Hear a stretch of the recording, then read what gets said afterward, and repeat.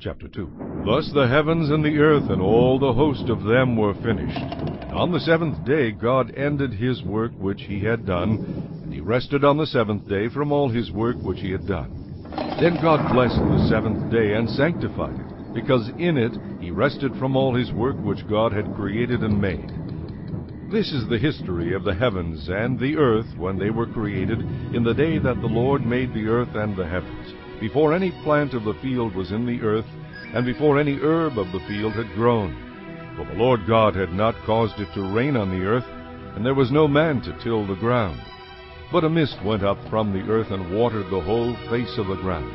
And the Lord God formed man of the dust of the ground, and breathed into his nostrils the breath of life. And man became a living being. The Lord God planted a garden eastward in Eden, and there he put the man whom he had formed. And out of the ground the Lord God made every tree grow that is pleasant to the sight and good for food. The tree of life was also in the midst of the garden, and the tree of the knowledge of good and evil.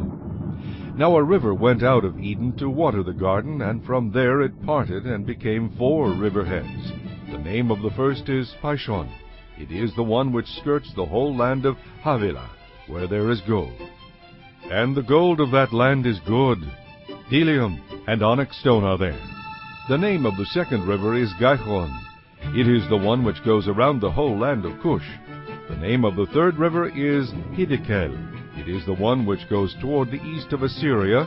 The fourth is the Euphrates. Then the Lord God took the man and put him in the Garden of Eden to tend and keep it.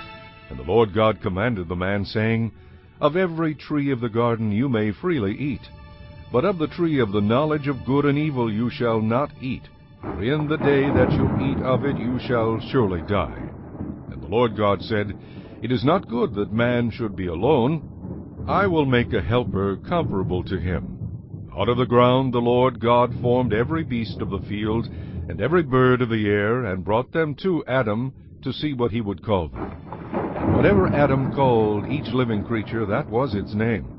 So Adam gave names to all cattle, to the birds of the air, and to every beast of the field. But for Adam there was not found a helper comparable to him. And the Lord God caused a deep sleep to fall on Adam, and he slept. And he took one of his ribs, and closed up the flesh in its place. Then the rib which the Lord God had taken from man he made into a woman, and he brought her to the man. And Adam said, This is now bone of my bones, and flesh of my flesh. She shall be called woman, because she was taken out of man. Therefore a man shall leave his father and mother, and be joined to his wife, and they shall become one flesh. And they were both naked, the man and his wife, and were not ashamed.